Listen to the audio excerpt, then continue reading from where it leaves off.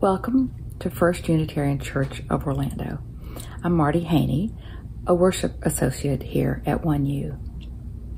Our Unitarian Universalist Association of Congregations meets every June in General Assembly for business, fellowship, inspiration, and learning. Today's service is a replay of this June's GA Sunday service. Please note that this service is 75 minutes plus our welcome, so I invite you to settle in for some beautiful music and messages.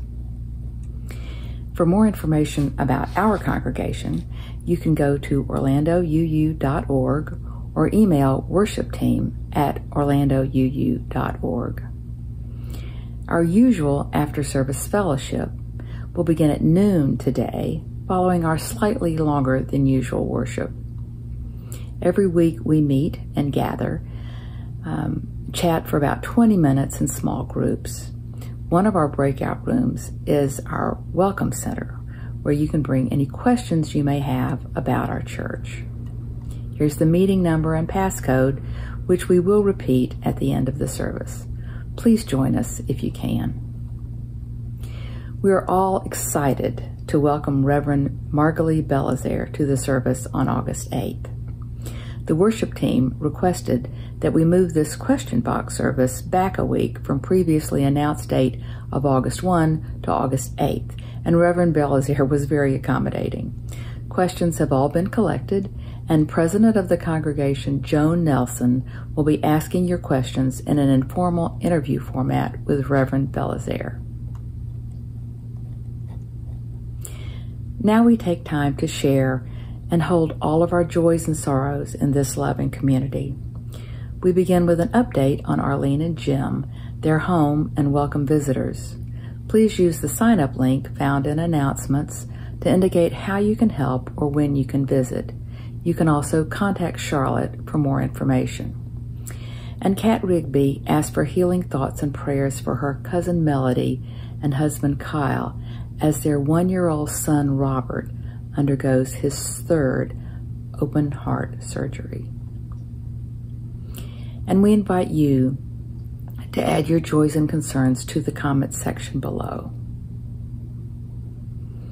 May these named and all others who are facing both the joys and the challenges of life be held in our hearts with love.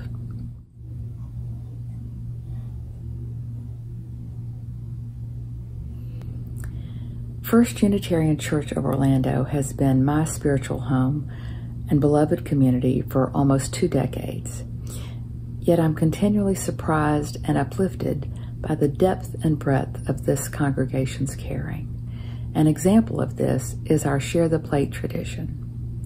So if you would like to join me and make an offering to support the many ministries of this congregation, we offer a variety of options. You can go to orlandouu.org and click the donate button in the upper right corner, or you can send a check or a text. And please consider supporting this month's Share the Plate partner, the New Image Youth Center. Here's their information.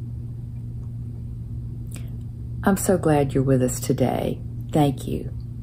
Now let's join in worship with our UU denomination for General Assembly Sunday.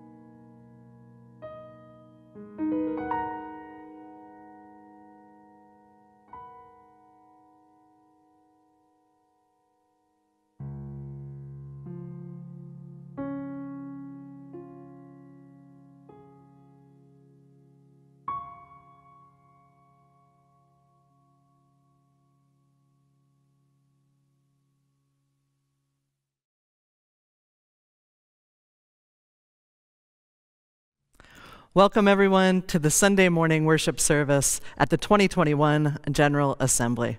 My name is Jennifer Crow, and I'm one of the ministers at the First Universalist Church of Minneapolis, and we are so glad that you are here with us. If you're joining us live on Sunday morning, we hope you'll use the chat if you're able and let us know where you're coming in from and say hello to each other there. First Universalist Church is a faith community that welcomes, affirms, and protects the light in each and every human heart that listens deeply to where love is calling us next, and with humility, compassion, and courage acts for justice in the world. We do all of this as a faith community that is deeply committed to dismantling white supremacy culture and building the beloved community, a place where all can be free and feel a sense of belonging and wholeness. We welcome you to this place and space. We come to you today from Minneapolis, Minnesota, from First Universalist Church, from the shores of Bde-Maka and the contemporary and traditional homelands of the Anishinaabe and Dakota peoples, the original stewards of this land. We come to you uplifting the name of these lands and the community members from these nations who reside alongside us. We come to you from Falcon Heights, from Brooklyn Center, and from George Floyd Square. We acknowledge the trauma that is deeply embedded in the foundation of this country the genocide, enslavement, and ongoing occupation and oppression that has impacted indigenous communities, communities of color, and immigrant and other communities, the culture of colonization and white supremacy that injures us all.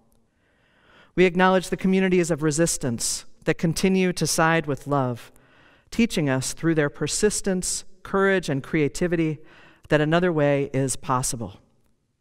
Here in this particular place, and in all of the places that you are, we invite you to bring your full self into the present moment. Breathing in and breathing out we connect across space and time. We heal ourselves and each other as we tell the truth in love. Welcome once again to this shared experience of hope and healing.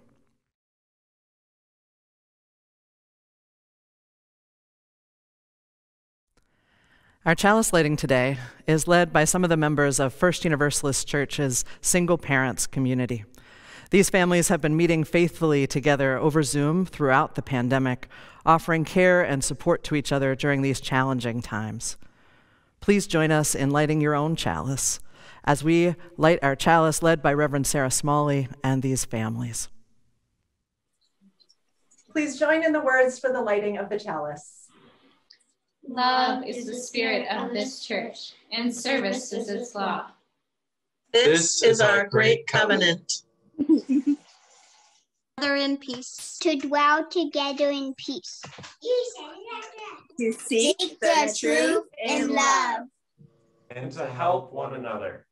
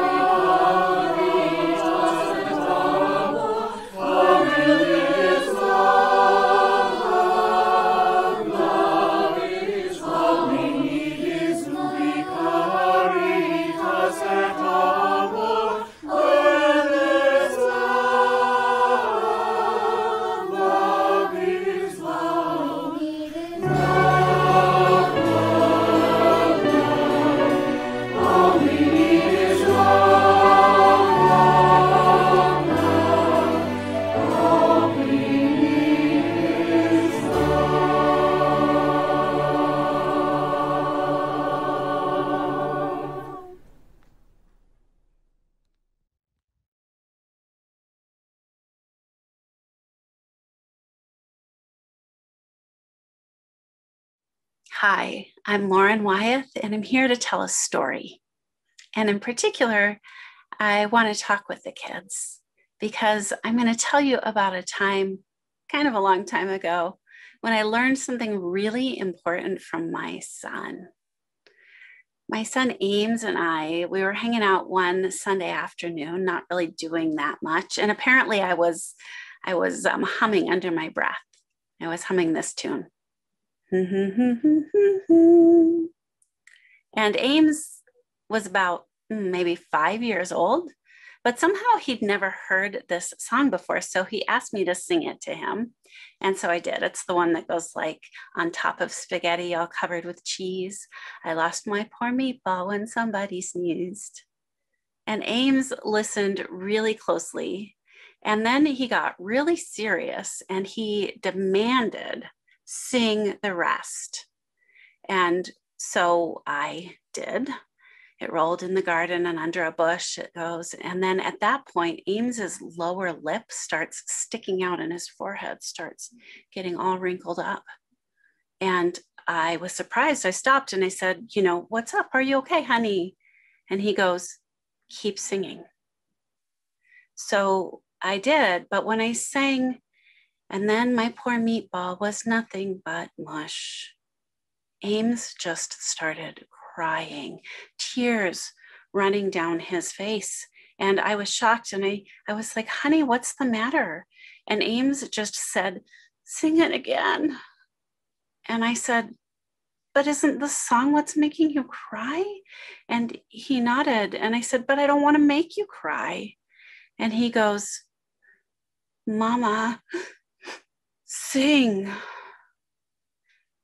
Now, I really didn't want to sing something that was clearly breaking his heart, but Ames was a hundred percent clear. So even though it was really hard to do it, I sang the song again and he kept crying. And then he wanted to hear it all the way through again and then again until finally he was all cried out. And only then, when he was resting his head on my shoulder and he was patting my arm, really exhausted, only then was he ready to talk. And I asked him, What was making you cry? Was, was it that they lost their lunch, that their lunch rolled away? And Ames told me, No. And I could tell it was really hard for him to say this next part, but he said, It was it was the poor meatball. Poor meatball. Well, ever since that day, Ames and a lot of other kids too, many of them at my church, they've been teaching me something really important. They've been teaching me that when we feel compassion, when that wells up in us, it's natural and it's good to move in closer, even, even if it hurts.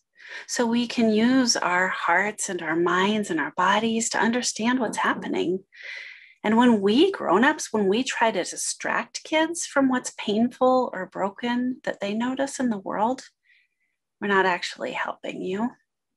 I didn't know it back then, but Ames really needed me to sing so that he could better understand the meatball. Now, sometimes Sometimes we adults might feel unsure about whether you're ready for certain conversations because sometimes really young people ask really hard questions like, why doesn't that person have a place to live? Or why are the police hurting people instead of protecting them? Or what if my pronouns that people are using don't fit? What then? But if you're asking, you're ready. You're ready for the conversation. You want to understand, right? And it's our job. It's our job as your grown-ups to be ready when you are and to go there with you. Now, several years after Ames insisted I sing about the meatball, he and his brother discovered this series of books called The Hunger Games. And those books have so many sad parts. In fact, they have some really, really upsetting parts. And some of the grown-ups that I know told me they didn't think my kids should even be allowed to read those books. But I didn't believe that because of this lesson kids had already taught me. I figured out that I think the Hunger Games books and movies were really popular for a good reason. And I think it's because they are about make believe kids in a make believe world where terrible and dangerous problems are right in front of them. And where many of the make believe grown ups don't really seem to understand how scary and wrong things have become. And the truth is, there are some big, serious problems in the real world, evil things that happen. And kids are right to look for stories that help them think about why that is and what we might be able to do about it. Kids have taught me that it's important to understand the poor meatball gone to mush. It's not too much if we do it together. And there's a magic that happens. There's a magic that happens when we do it together. There's a tenderness, there's a sweetness that happens in our togetherness. There's freedom, and there's a healthy kind of power in our togetherness. Thanks for revealing that to me. Imagine the world of love and liberation we could build with that power together.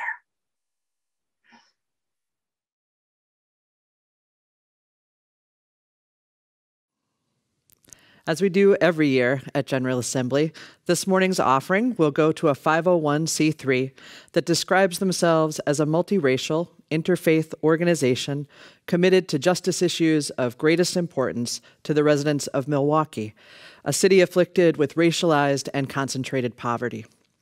This year's collection will benefit Micah, Milwaukee Inner City Congregations Allied for Hope, and joining us now with more information is Lisa Jones Micah's executive director and lead organizer. We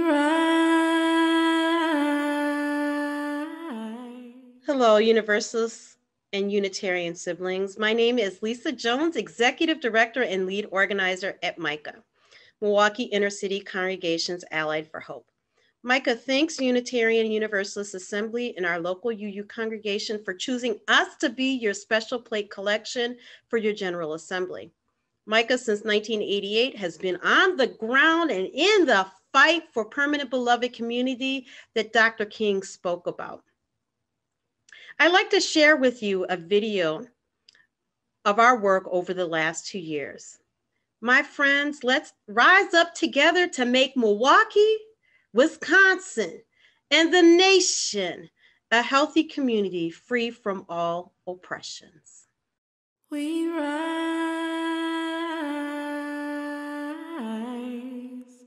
humbly hearted rise,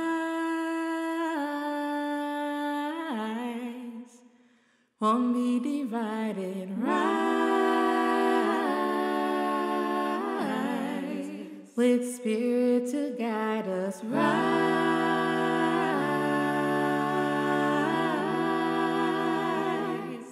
in hope, in prayer, we find ourselves here.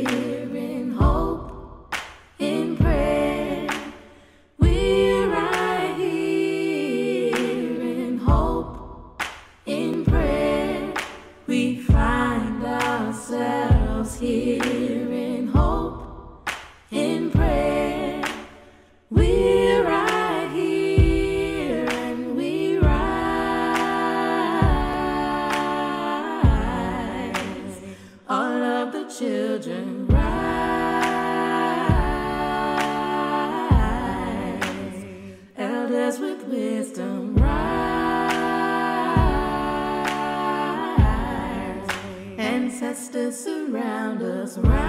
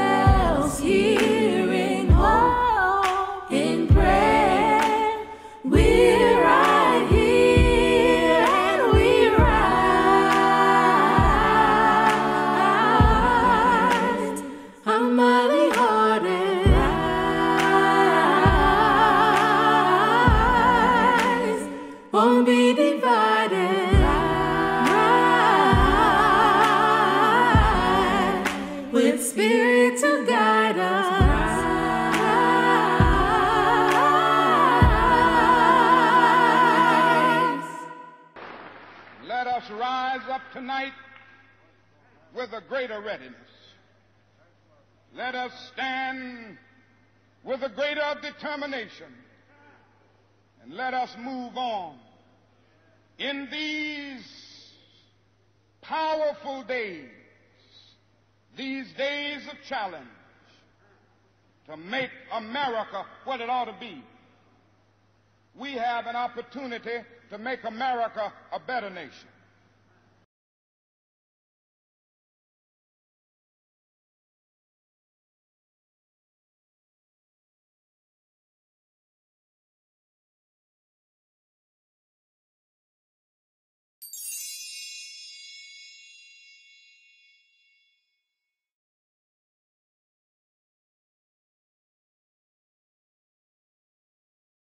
Good morning. I'm Amy K. Bryant. I'm the artist in residence here at First Universalist Church in Minneapolis. For Black people living through the tyranny and oppression of anti Blackness, singing can be an act of rebellion. It is technology for self care, and it can also be a cauldron for cultivating joy. I offer you the following humming meditation in the spirit of that resilience and revolution. So I'm inviting us into a body mind meditation together today. You are the expert on your body mind. Please change or adapt any of the instructions I'm about to share to meditate in ways that honor and support your body mind. Find a position that honors your being, that helps you be more comfortable. Relax your gaze or close your eyes if you prefer. Take in a slow, easy breath, and on whatever note you like, please hum. Let your body tell you when to inhale and when to hum. There is no one to keep up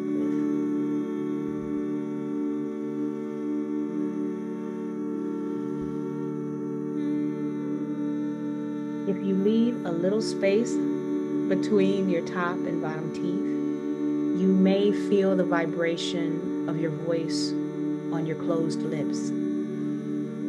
As you hum, give all of your attention to the feeling of the hum in your body.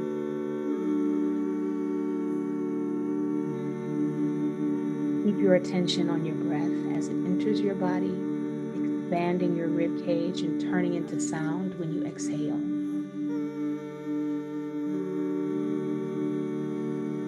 Feel free to change notes as often as you like. And as you raise and lower the notes, notice how the location of the vibration changes.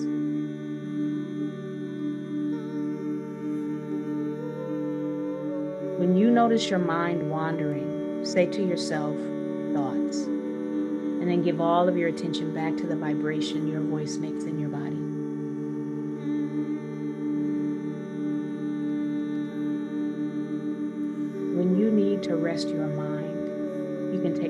Refuge in the feeling of your own voice.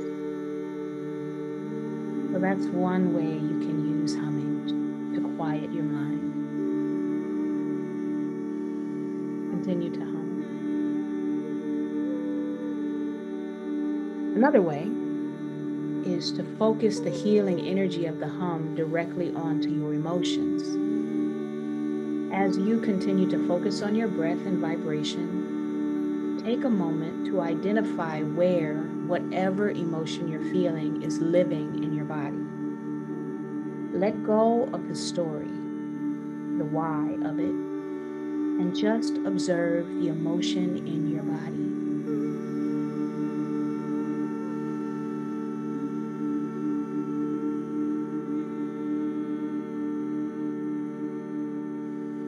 Even if you're feeling sad or angry, our intent is not to get rid of it, but to really get to know it, to be with it with a loving, non judgmental curiosity. If you are happy and hopeful, really pay attention to that too. What is the sensation of the emotion in your body?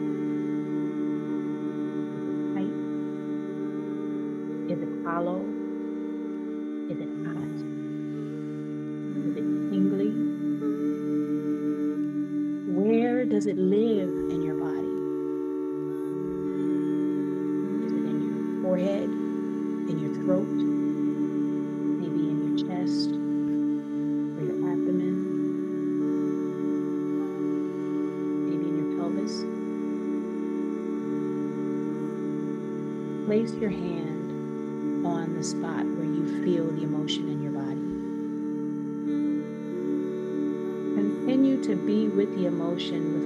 with a loving curiosity. And on your next exhale, send your hum to that spot.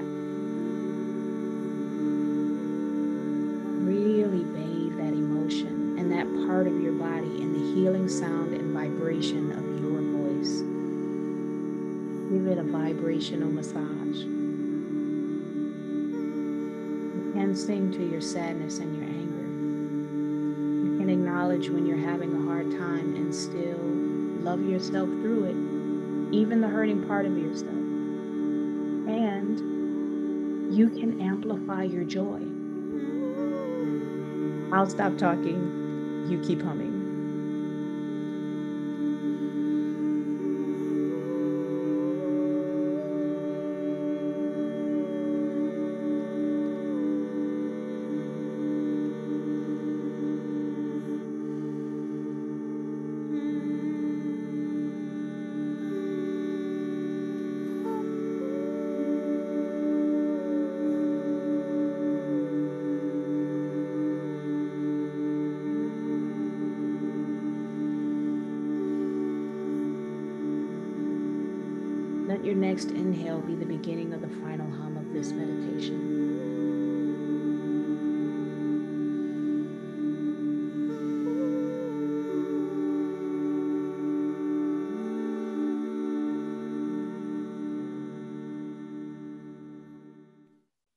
Now that you've stopped singing, notice how your body feels now. If your eyes have been closed, open them when you're ready.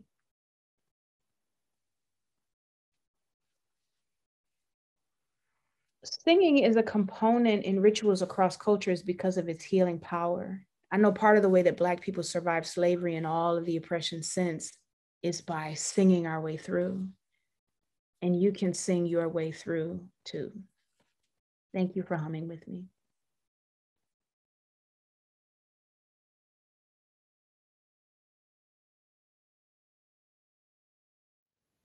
My name is Arif. Welcome to a time of prayer. I invite you to put down what you're holding. Let your body come into presence and awareness. Yo soy Julika. Te invito a un espacio sagrado. Te invito a rezar conmigo. Join us in prayer. Join us in prayer. Holy One, one whom my ancestors knew and prayed to. Dios de mis antepasados. God we know by many names, and God we know beyond all naming. En el nombre de lo que amamos y lo que cuidamos y lo que buscamos. How can love win, beloved? How? Everywhere we look, there is violence and destruction. The land is burned and burning. The seas are boiling and rising. Countless beings lose life every single day. Where is love winning? No te encuentro, diosa de mi vida. No veo la salida a todos nuestros problemas. My heart breaks every time I open to what's going on around me. I can't change all of this. Es demasiado. It is too big. It is too much. I am too small. I am too alone. Hear my prayer of lament. Acompáñanos, Dios de la justicia. Ven a nosotros. Hear my prayer of hopelessness. My heart is broken. May I rest. May we rest in broken-hearted silence.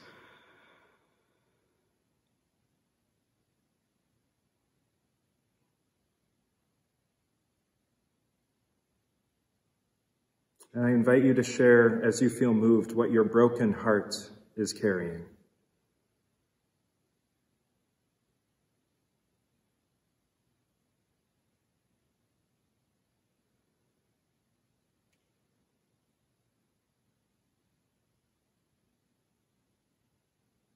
Out of this silence, I hear the voices of my ancestors. I hear the call of the future. My great great grandchildren call to me. The world is too big when I make it too big. My work, our work, is maybe not to win, but just to try. Maybe love is already winning. El amor ya está ganando. My great great grandchildren are cheering us on. You don't have to win everything, just hold the space. Just hold the space. We are coming. Ya venimos. Love wins when my resolve does not waver. Love wins when I nourish even a tiny ember of hope. El amor gana cuando me pinto la cara color esperanza. Love wins every time one of us takes one small action in the service of a wider and bigger love, a bigger we. Then hear our prayer of hope. Hear our prayer of possibility.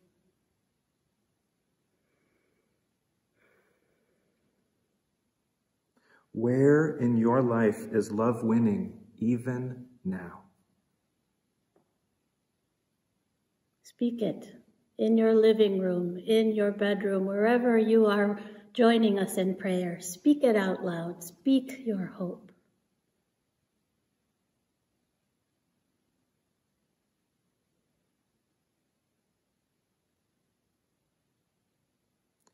We may or may not change the world. That is not ours to know, but love wins when we hold on to ourselves. When we hold fast to one another. When we keep faith with each other and make room for more and more and more to join us. Juntos, adelante, más y más cada día. Just hold the space. We are coming. Amén. Bendito seas, benditos seamos todos. May it be so and blessed be.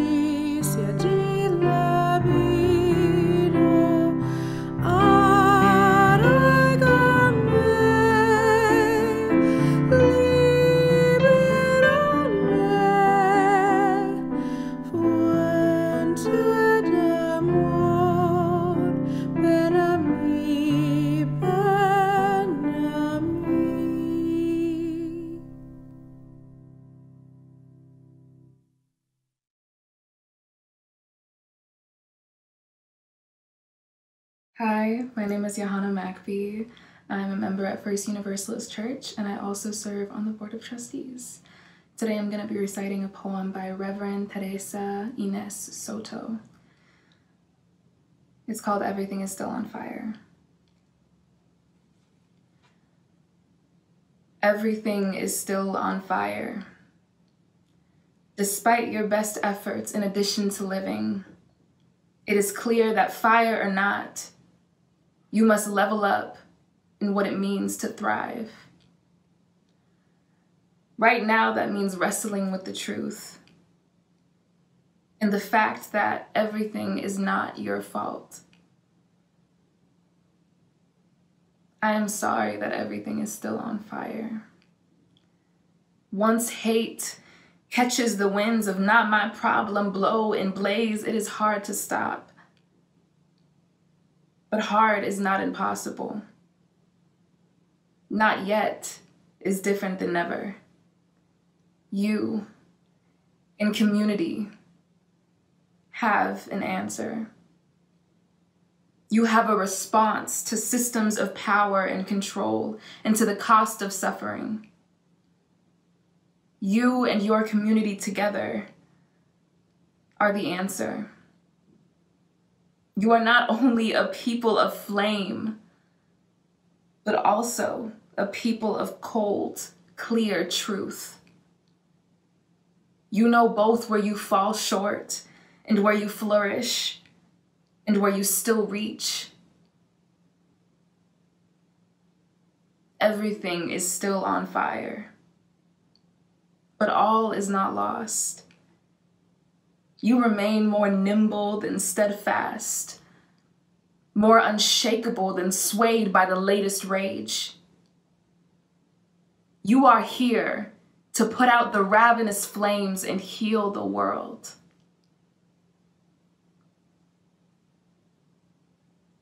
Enough is enough. Everything is still on fire.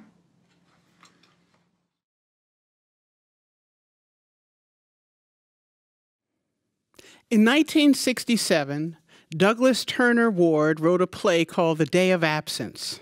The play starts off with a town in absolute panic. Something was terribly wrong. Half the people had disappeared. In fact, all of the black people in the town had disappeared. A scene from the play. Jimmy, they gone. Henry, not a one of them in the street, not a one of our homes, not one singing, not one walking down the street. The last living one of them, nowhere to be found. What are we going to do, Mayor? Keep everybody together. Keep your head on your shoulders. They can't be far, probably just hiding somewhere. Jackson, Jackson. Yes, sir, Mayor? Immediately mobilize our Citizens Emergency Distress Committee. Order a fleet of sound trucks to patrol the streets in the Negro alleys. They can't remain hidden for too long. Tell everybody just to calm down. Everything's going to be under control. Then have another squadron patrol some more alleys and find out if they're hiding somewhere where we can't find them. Ordering them out one by one. Wherever they are, by God, we will find them. If we have to dig them up from the ground ourselves, we're going to find them niggers. Now, the play is performed in whiteface with black actors. And it goes on to depict the chaos that occurs in this small town without black people. But where do they all go? Why did they all leave? Will they ever come back? what prompted them to leave in the first place. In many ways, the disappearance of black people from this town disempowers white supremacy. Without black bodies, white supremacy becomes non functional and inert. Without blackness, whiteness is dangerously feeble, feckless, and frightened by its own shadow. Since it is historically irrational and nearly impossible for blackness to enter into any kind of fruitful relationship with the concept of whiteness, black liberatory responsibility and rationality is the only path forward. One form of this rational black resistance that has proven highly effective throughout the black diaspora is that of fugitivity.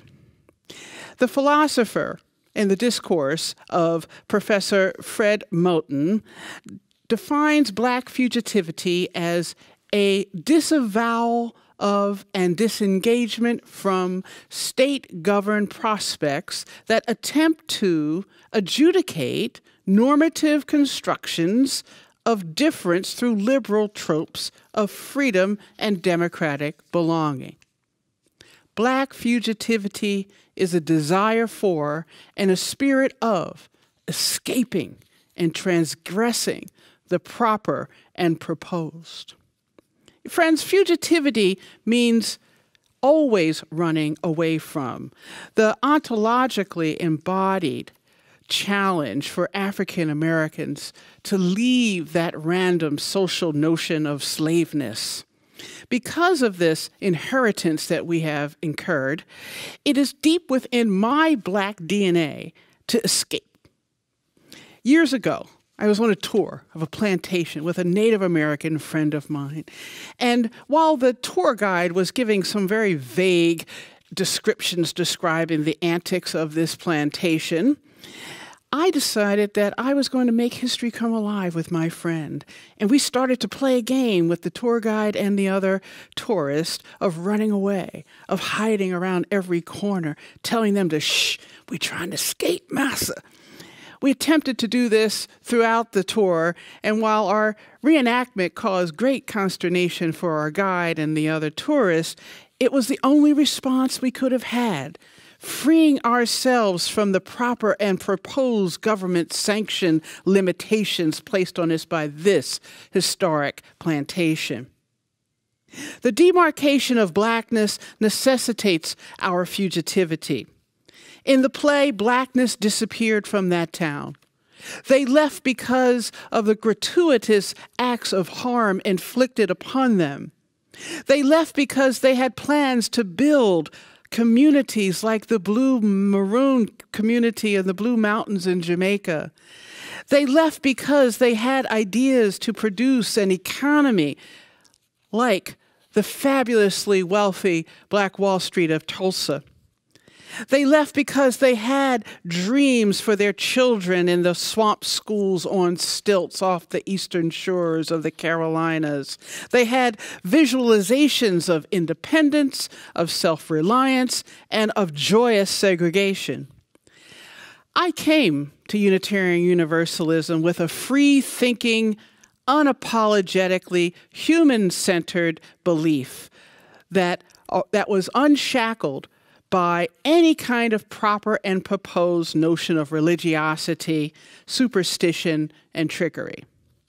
Black fugitivity is supported by our first principle because fugitivity supports the act of self directed inherent worth and dignity.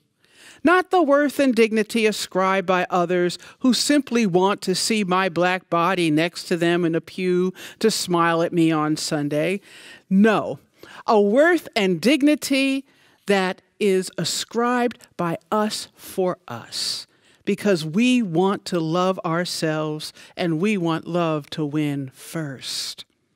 Not a love of self that has a bargaining chip or some kind of negotiables, but a love of self that is firm, rooted, solid, unwavering, and fierce. The worth and dignity of blackness must imagine eradicating the afterlife of slavery. which, like all afterlives from nuclear waste on, has lethal capabilities that still live on in the half lives of our behavior that pervert our moral and theological imaginations. We also cannot simply say we believe in hope for systemic reform, prayers for a better day, and conditional mutuality. These acts will not help love win because conditional hope and prayers by themselves never liberated anyone. Fugitivity is not unknown to Unitarian Universalists. We know that is because of our ideas. Michael Servetus, because of his rejection of the Trinity and eventual execution by burning for heresy, knew what fugitivity was. He survived running from town to town and place to place, writing and publishing his radical thoughts while resisting the prescribed and proper Trinitarianism of Calvin. Ethelred Brown in Jamaica had found his way to the Unitarian Universalism by rejecting the Trinity. And as a Unitarian Universalist minister, he received nominal and limited support. And it was all conditional from the Unitarians.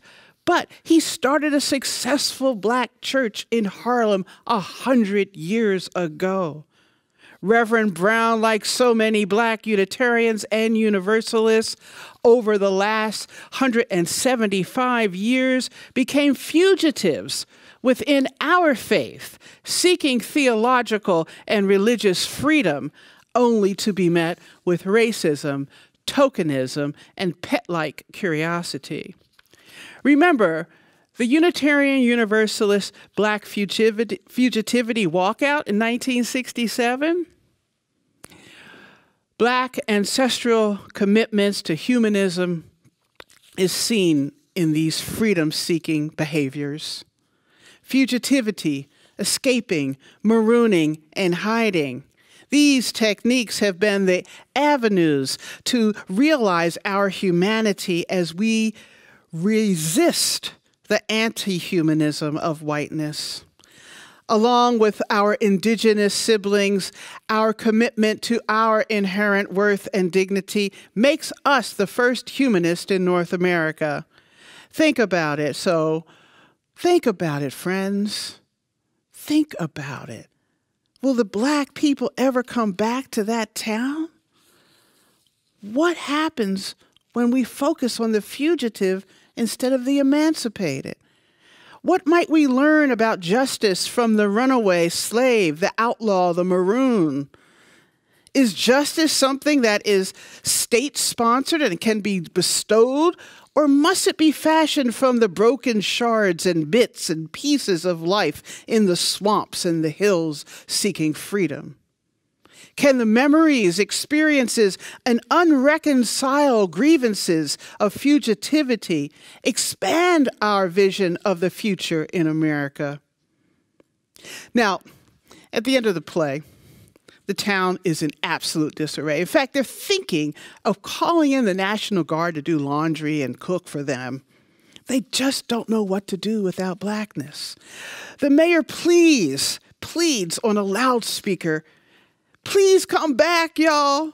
For my sake, please, all of you, even you questionable ones, I want you to come back. I, I promise no harm will be done to you. There will be no revenge dismissed, dis- disallowed to you We'll forgive everything. I'll kiss even the feet of those shoes of the first one that walks up and returns to show up. Just come back, please. In the next scene, the play ends as it starts, with Clem and Luke sitting side by side talking, when one of them noticed Rastus coming down the street. Is that a Negro? I see. Sure does look like one to me.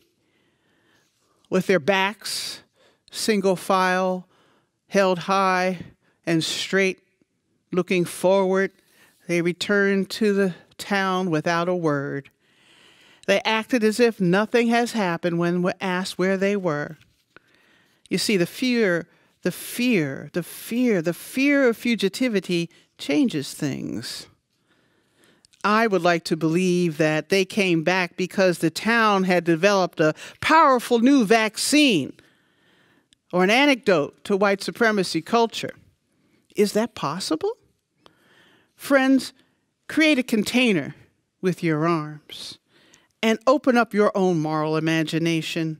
Visualize the words, behaviors, gestures, and impulses that bring forth a new world that blackness can return safely to. Let us create a vaccine for the contagion of white supremacy.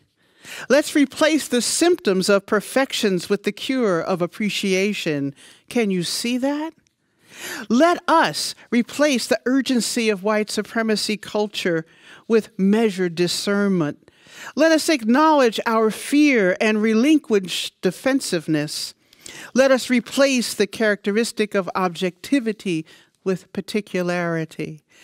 Let us replace the characteristic of power hoarding with, the sh- with sharing and listening. Let us replace the characteristic of fear and open, of open conflict with honesty and authenticity. Let us replace the characteristic of paternalism with real mutual regard. Let us stop thinking there's only one right way and cultivate cultural humility. If we do this, we will replace some of our individualism with communion. Now that we are filled up with an aspiration to imagine a new culture, ask yourself, friends, this question Is this country, is our faith, is America ready for the fugitive to really return? Is this country redeemable? What will you do to help us figure it out? Blessed be and amen.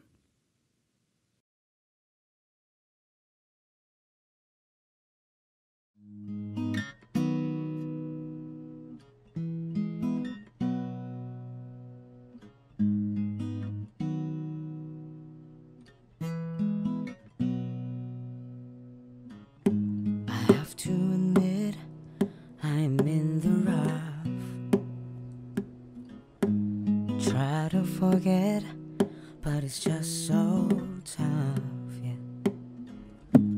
Hungry for peace, and whenever I ease it, the more it just breaks me down. No, no, but I still hang on. So, if there's no pressure, there'll be no diamonds.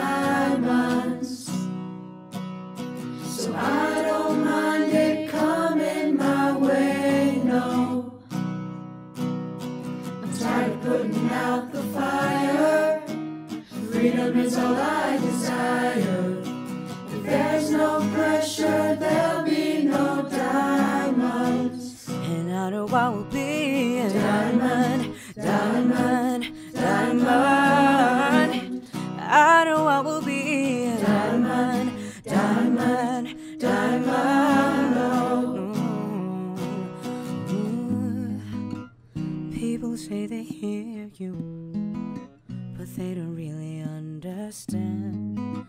It's really so exhausting. They're trying to reach out for someone's hand. Keep on telling me it gets better. It's hard to see when all I get is bad weather.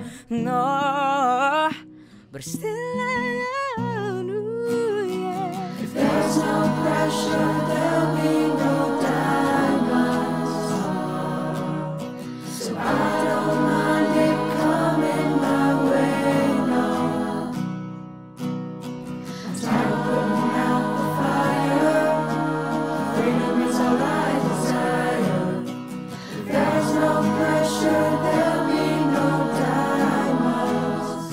know I will be. A diamond, diamond, diamond.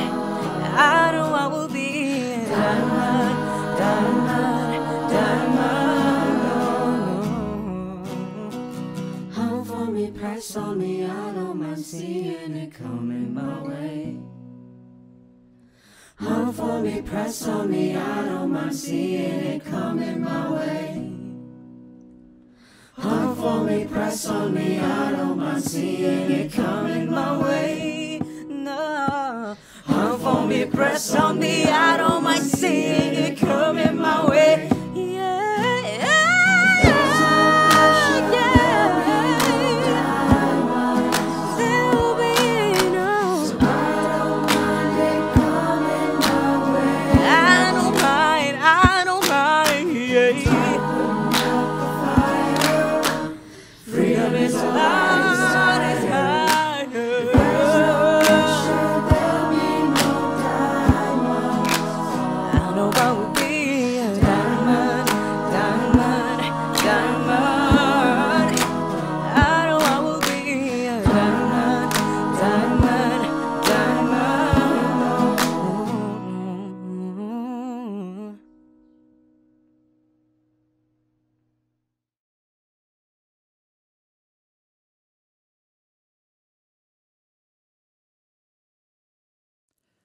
It was a few months ago when my son made the invitation. It was the first spring thunderstorm here in Minneapolis after what felt like a perpetual winter. Henry wanted us to join him outside in the rain. Now, this might seem like a typical invitation from a kid to their family, but it wasn't for us. You see, it was just about five years ago, during a thunderstorm much like this one, that lightning hit our house in the middle of the night. The impact of the lightning, the sound, it rocked us awake that evening. And we went stumbling through the house, looking for each other and heading out into the rain. We lost almost everything in an instant, and we were incredibly lucky. We knew it could have been otherwise. Now, given that history, I can't say that anybody in my family really looks forward to a thunderstorm. In fact, on that night when Henry was inviting us to join him out there in the rain, I was considering cowering in the corner of the basement. But I figured as the only adult present at that point, I should probably stay upstairs. It wasn't until the next morning that it dawned on me what Henry had been doing that night. He wasn't hiding from the reality of the rain. He wasn't hiding from the thunder and even the fires that had, in fact, returned to our city. He was out there in it. He was soaking up the joy of the first spring rain after six months of waiting in Minnesota. He was out there even as the lightning was lighting up the sky, going past surviving and into thriving. And he was inviting us to join him in it. I tell you this today not just because I want to brag on my son, which I always do, just to be clear, but I'm telling you this because when I woke up the next morning and realized what he was doing, I realized he was inviting us to go past the kind of living where it's white knuckle, hold on, barely make it through, and move past that out into joy. He was reminding me that another world and another way was possible. And I was so grateful for that reminder. Now, we know something about fires. All of us do, literal and metaphorical, whether we're in Minneapolis or somewhere else. Fires happen in all kinds of ways in all of our lives. When one moment things are one way and the next they are another. This past spring, we were reeling here in Minneapolis, reeling from the trauma of the trial of Derek Chauvin, reeling from another police murder of a black body of Daunte Wright over in Brooklyn Heights. And as this was happening, there were particular words ringing in my heart and mind. They were Reverend Soto's words. They write, Everything is still on fire. Everything is still on fire. And, and in addition to living, it is clear that we are going to need to level up in what it means to thrive. Everything is still on fire, they write. And in addition to living, it is clear that fire or not, we must level up in what it means to thrive. Beloveds, it is time for us to level up in what it means to thrive as individuals and as Unitarian Universalists. We are meant for more than survival, even though sometimes that is all we can do. We are meant for thriving. Our communities are meant to be spaces of collective liberation, places where we and all who join us know without a doubt their inherent worth and dignity. Places where we can be living examples of the embodied experience of what it means to be whole and holy and worthy, welcome and wanted, to know ourselves one more Redeemer here on this earth. That is what our communities are supposed to be like. We are meant for thriving a circle wide enough to welcome us all, a love that will not let us go. This is who we are meant to be. This is the love we are meant to embody. Now, the pressure is on these days. The pressure is on, as Jake Zyrus and our First Universalist youth just sang to us. And if I am honest, I do not mind it coming our way at all because it is time. It is time for us to become the people we have long proclaimed ourselves to be, the people of a true, wide welcome. This is who we are meant to be. And I'll tell you, my fear is that we will continue to dream small, that we will dream small and fall victim to minuscule change and call it progress. I'll tell you, I am haunted absolutely haunted by the story of a young Howard Thurman.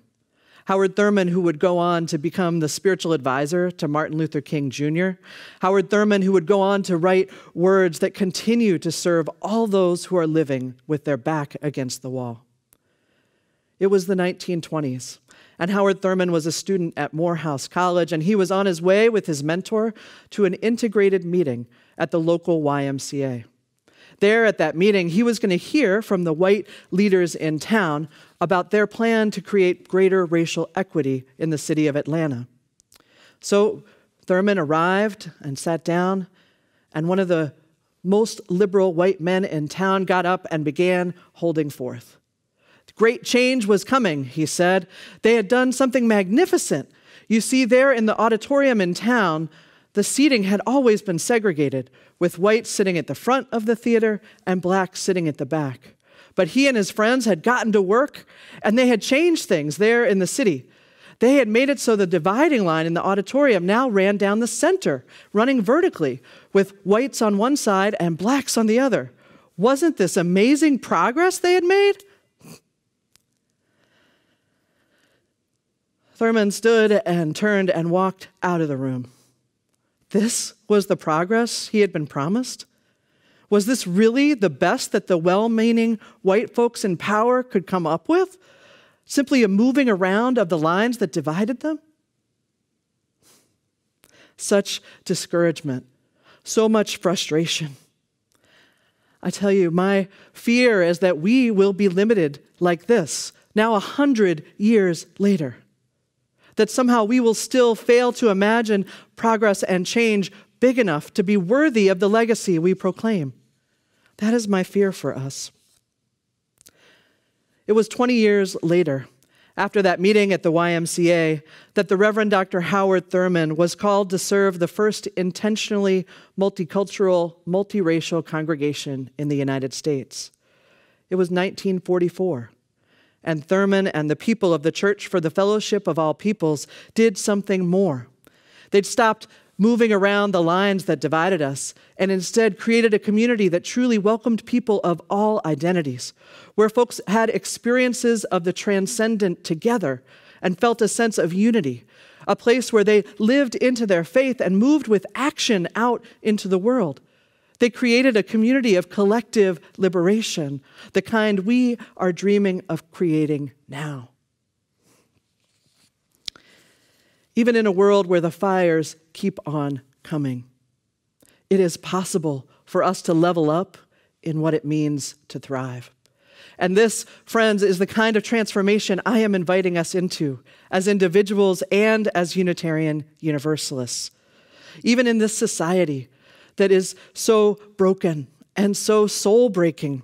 We are called to live lives and create communities of collective liberation, places where we can feel joy, where we can be welcomed in the fullness of who we are, and trust that we will be welcomed in love with the wide embrace that we talk about. This is who we are. This is who we are called to be. We can do this. We can level up in what it means to thrive to be the people of the wide welcome, to be part of a love that will not let us go, to stay in the struggle, friends, until love wins. May it be so, and amen.